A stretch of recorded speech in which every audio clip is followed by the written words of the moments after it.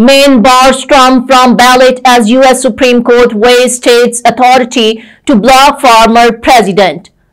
Maine's Democratic Secretary of State on Thursday removed former President Donald Trump from the state's presidential primary ballot under the Constitution's insurrection clause becoming the first election official to take action unilaterally as the U.S. Supreme Court is poised to decide whether Trump remains eligible to return to the White House. The decision by the Secretary of State follows a ruling earlier this month by the Colorado Supreme Court that booted Trump from the ballot under Section 3 of the 14th Amendment. That decision has been stayed until the U.S. Supreme Court decides whether Trump is barred by the Civil War era provision which prohibits those who engaged in insurrection from holding office.